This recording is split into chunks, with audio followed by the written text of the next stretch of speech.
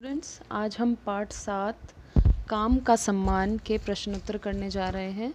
पहले हम मौखिक प्रश्नोत्तर हम अपनी बुक में ही करेंगे। तो सभी बच्चे पेंसिल लेकर बैठें और मेरे साथ उत्तर लिखते जाएँ। पहला प्रश्न है, कौन सा पशु सवारी के काम आता है? उत्तर है, घोड़ा। घोड़े के मुँह में क्या डाला जाता है? घोड़े के मुँह में लगाम। लगाम डाली जाती है। घोड़े की इज़्ज़त कब अधिक होती है? जब वो शादियों में सचता है। हमने यहाँ पढ़ा था ना? जब वह शादी में शोभा बढ़ाता है। ठीक है? तो हम लिखेंगे शादियों में।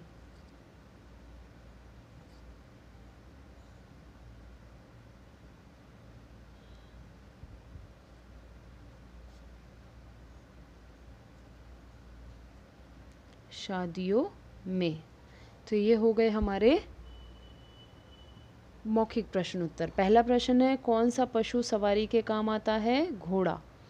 घोड़े के मुँह में क्या डाला जाता है? लगाम। घोड़े की इज़्ज़त कब अधिक होती है? शादियों में। अब आप सभी बच्चे अपनी हिंदी की फेयर नोटबुक निकालें, हम प्रश्न उत्तर लिखेंगे।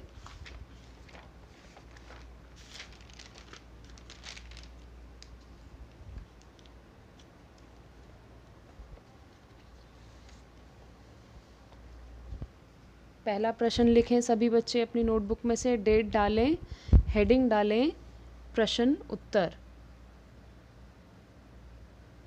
प्रश्न उत्तर। ठीक है? पहला प्रश्न लिखें। गाय को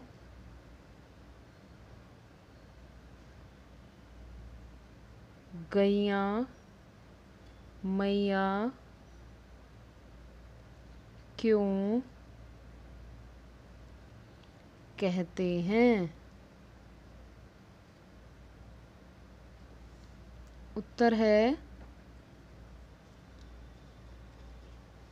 हमने बुक में ही पढ़ा है कहानी में, यहाँ पर। हम लिखेंगे, गाय को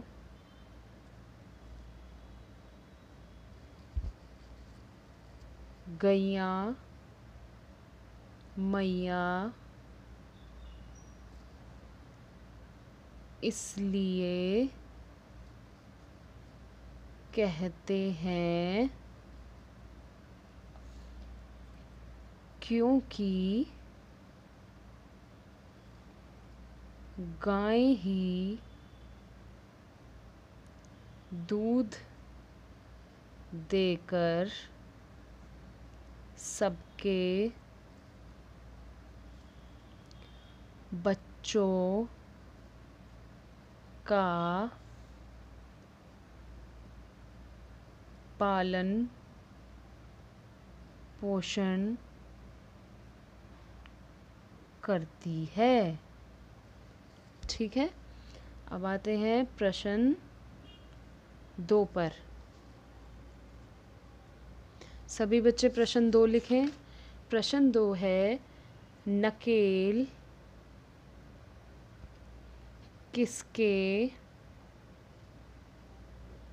और क्यों डाली जाती है? तो हमें पता है नकेल किसके डाली जाती है? बैल के। बैल कौन होता है? गाय का बछड़ा मतलब गाय का बेबी बॉय नकेल बैल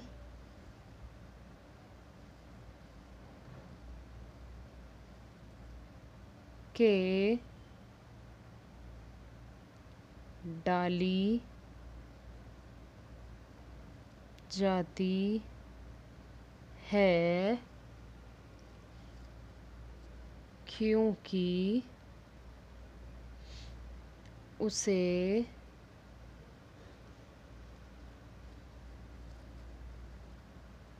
हल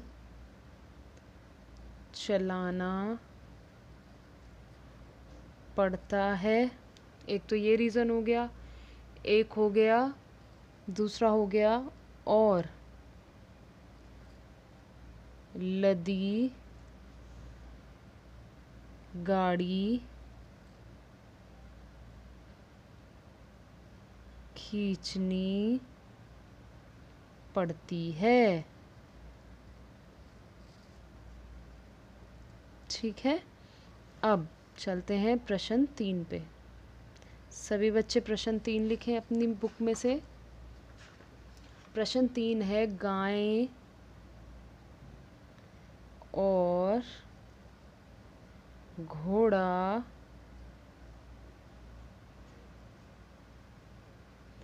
दोनों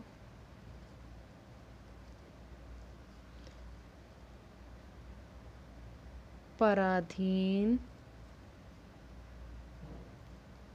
क्यों हैं?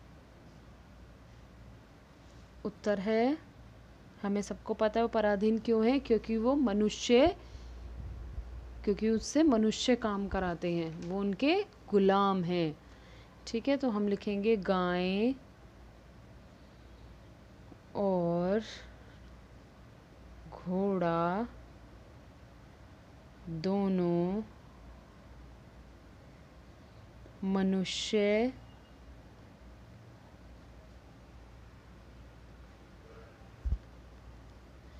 गाय और घोड़ा दोनों मनुष्य के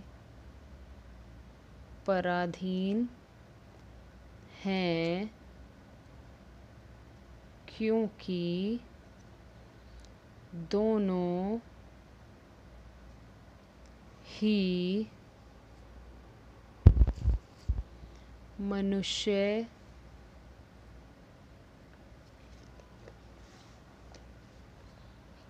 की इच्छा के अनुसार काम करते हैं। वो अपनी तो इच्छा के अनुसार काम कर ही नहीं सकते क्योंकि वो मनुष्य के लिए काम करते हैं। गाय और घोड़ा। प्रश्न चार पे चलते हैं। प्रश्न चार है, पराधीन सपने हूँ।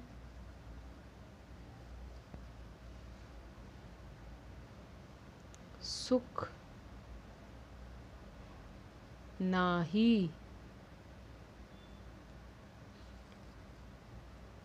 का? क्या भाव है? तो ये लाइन हमने अपनी बुक में पढ़ी है। और इसका अर्थ मैंने आपको क्या बताया था कि पराधीन सपने हो, सुख नाही का मतलब होता है। जो लोग पराधीन होते हैं मतलब किसी के गुलाम होते हैं उनको कभी सुख की प्राप्ति या सुख का अनुभव नहीं हो सकता, सपने में भी। रियल लाइफ में तो है ही नहीं, क्योंकि वो औरों के लिए काम करते हैं, औरों के अंडर में काम करते हैं, पर उन्हें सपने में भी सुख नहीं होता। हम क्या लिखेंगे? पराधीन, सपने हूँ, सुख नाही का भाव है? डैश लगाएँगे और लिखेंगे पराधीन मतलब जो गुलाम है।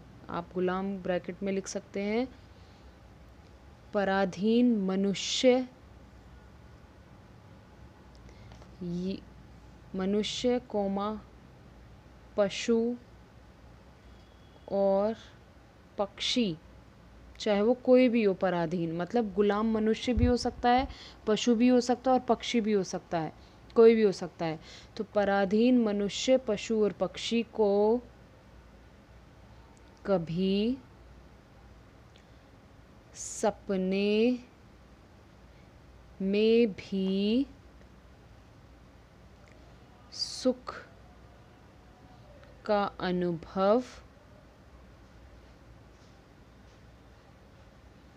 सुख का अनुभव नहीं हो सकता। ठीक है? तो जो लोग पराधीन है, चाहे वो मनुष्य है, पशु है या पक्षी है, कोई भी है तो हमने क्या लिखा है इसका अर्थ? पराधीन मतलब गुलाम होता है, जो गुलाम जो किसी के अंडर में काम करता है, मनुष्य, पशु और पक्षी को कभी सपने में भी सुख का अनुभव नहीं हो सकता। तो इस इस पंक्ति का क्या अर्थ है? यही है। तो हमने आज अपने लिखित और मौखिक प्रश्नोत्तर पूरे किए। पहला प्रश्न गाय को गैया मैया क्यों कहते हैं? गाय को गैया मैया इसलिए कहते हैं क्योंकि गाय ही दूध देकर सबके बच्चों का पालन पोषण करती है। नकेल किसके और क्यों डाली जाती है? नकेल बैल के डाली जाती है क्योंकि उसे हल चलाना पड़ता है और नदी सॉरी लदी गाड़ी खींचनी पड़ती है। तीसरा प्रश्न, गाय और घोड़े दोनों पराधीन क्यों हैं? गाय और घोड़े दोनों मनुष्य के पराधीन हैं, क्योंकि दोनों ही मनुष्य की इच्छा के अनुसार काम करते हैं। अगला प्रश्न, पराधीन सपने हूँ, सुख नाही का क्या भाव है? पराधीन सपने हूँ, सुख नाही का भाव है। पराधीन मनुष्य, पशु और पक्षी को कभी सपने में भी सुख का अनुभव नहीं हो सकता। तो हमने सारे प्रश्नोत्तर पूरे किए हैं। आप सभी बच्चे अपना वर्क पूरा करें और मुझे साथ के साथ भेजते रहें। ये वीडियो आपको यूट्यूब चैनल पर मिलेगी और आपको पीडीएफ स्नैप होमवर्क ऐप पर मिलेगी। अपना कार्य पूरा करते रहें और साथ के साथ मुझे भेजते रहें। आज की कक्षा के लिए इतना ही। धन्यवाद।